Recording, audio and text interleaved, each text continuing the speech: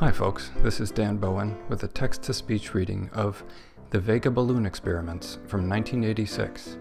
This is an overview of the amazing Soviet space mission that flew balloons in the clouds of Venus.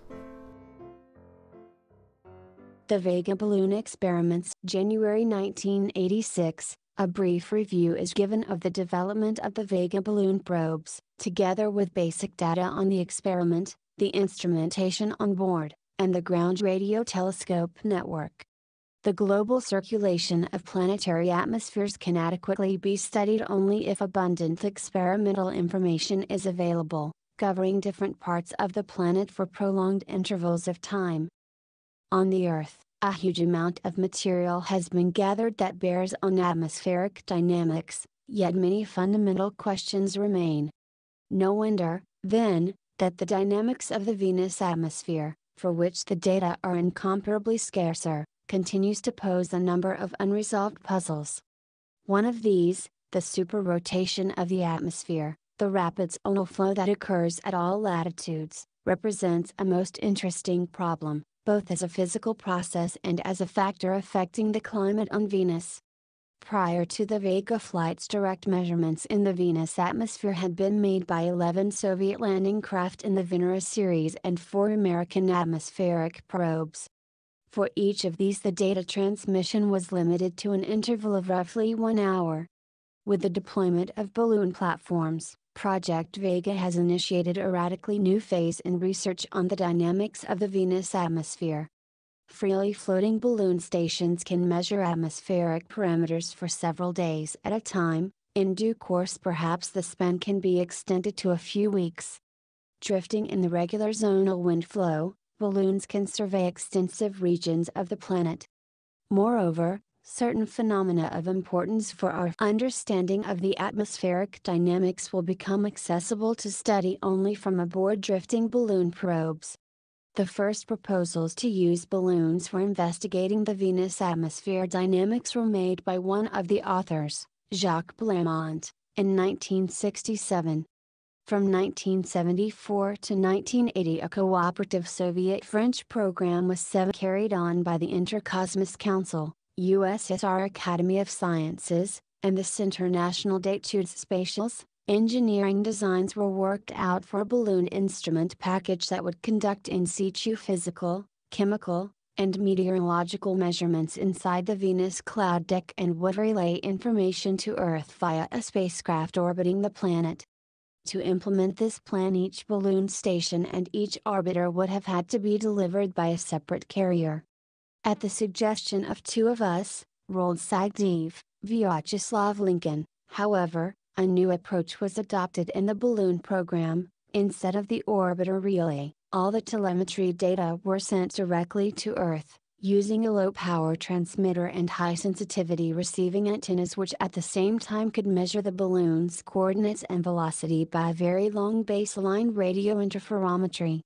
This procedure much diminished the weight of the balloon equipment while allowing most of the scientific experiments to be retained. In approving this project the Intercosmos Council stipulated several main goals, to trace the large and small scale motions over time intervals of up to two days, to measure the turbulent heat and momentum flow in the cloud layer, and to determine the physical parameters of the Venus atmosphere in the balloon flight regions.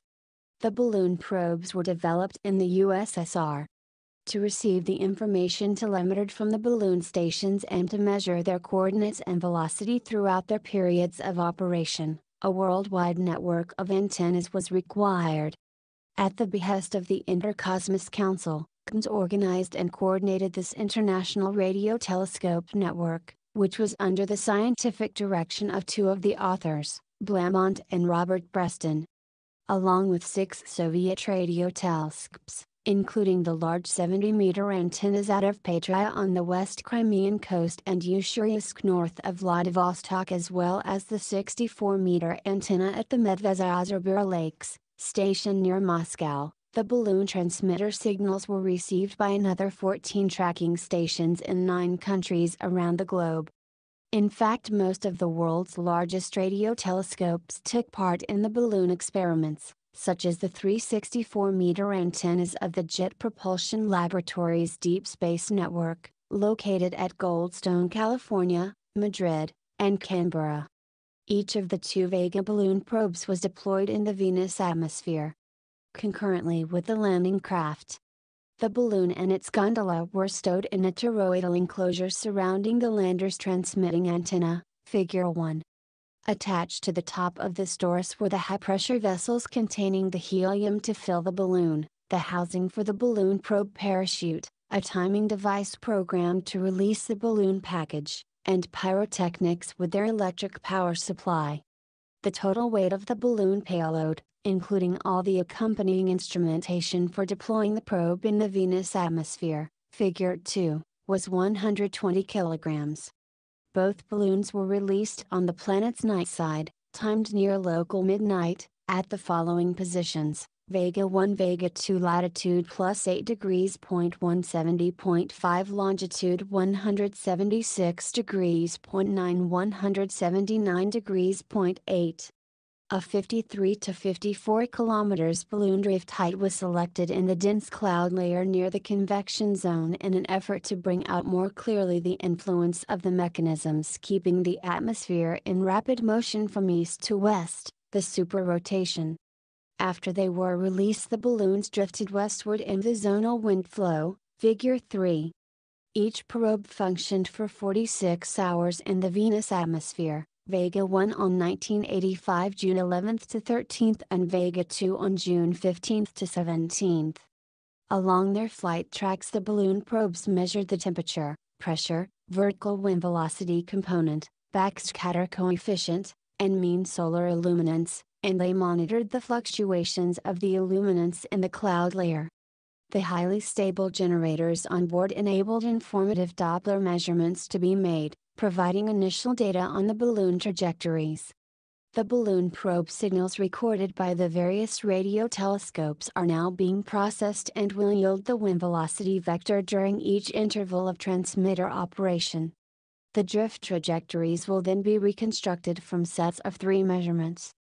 According to the telemetry data and the Doppler tracking, the balloons drifted latitudinally in the Venus atmosphere about one third the way around the planet at an average speed of 69 meters per second, Vega 1, and 66 meters per second, Vega 2, maintaining practically the nominal height of 53 to 54 kilometers. They crossed the Terminator 34 hours, Vega 1, and 32 hours, Vega 2, after deployment their operation ending on the day side when then sun was at a zenith distance of about 60 degrees minus 55 degrees, figure 3. The 46 hours duration of the balloon telemetry was limited by the electric energy supply in the batteries. By the close of the operating sessions the balloons had dropped about 500 meters due to escape of some of the helium. On the day side, however, the solar heating of the helium in the balloons offset the loss in height through diffusion, so the probes presumably continued their drift motion even after they were no longer transmitting signals to Earth. The 20 radio telescopes in the VLBI network acquired the Vega 1 and Vega 2 balloon signals and recorded them with a high signal noise ratio. Over the four days of the two experiments, the network gathered data from about 1,200 individual measurement sessions, and the total file of information recorded amounts to some January 5, 1012 bits. We are hopeful that the magnetic tapes will have been fully processed by late 1986, giving the actual flight trajectories and velocities of the balloon probes in the Venus atmosphere. Preliminary results of the analysis as well as the measurement techniques and system parameters, are set forth in a number of communications appearing in this issue of Soviet astronomy letters. These Vega balloon experiments could not have been conducted successfully without extensive international collaboration, a direct role being played by staff members from many organizations and radio astronomy observatories. We would express our most sincere thanks to all. Figure 1. Arrangement of the balloon probe payload in the upper part of the Vega landing capsule. 1. Toroidal balloon compartment, 2. Lander transmitting antenna. 3. One of the helium pressure vessels. 4. Parachute compartment.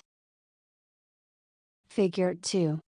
The balloon deployment sequence 1. Venus atmosphere entry, H equals 125 kilometers, V less than 11 kilometers per second, 8 equals minus 19, 2. Parachute attached to cap of landing craft opens, T equals 38 seconds, H equals 64 kilometers, 3. Cap withdrawn, T equals 30 seconds, H equals 63 kilometers, 4. Balloon probe released, T equals 70 seconds, H equals 61 kilometers, 5. Second parachute opens deploying furled balloon, T equals 200 seconds, H equals 55 kilometers, 6. Balloon unfurls and inflates, T equals 300 seconds, H equals 54 kilometers, 7. Parachute and inflation system jettisoned, 8. Ballast jettisoned as trajectory reaches its lowest point,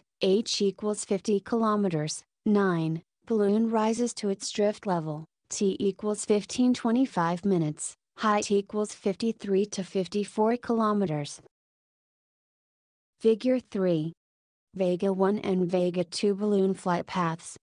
The bends term 1, to indicate the morning terminator positions for Vega 1, 2, dashed lines, portion of trajectory of Venus dayside. Asterisk a mountain 5 kilometers high. If you like this video, please like it, subscribe to my channel, and share it with your friends. Also, feel free to visit my Patreon to support the production of these at patreon.com slash balloonscience and visit my website if you like, stratosphericballoon.consulting. Background music is Break Time by Kevin MacLeod incompetech.com, licensed under Creative Commons by Attribution 3.0. CreativeCommons.org slash licenses slash by slash 3.0 slash.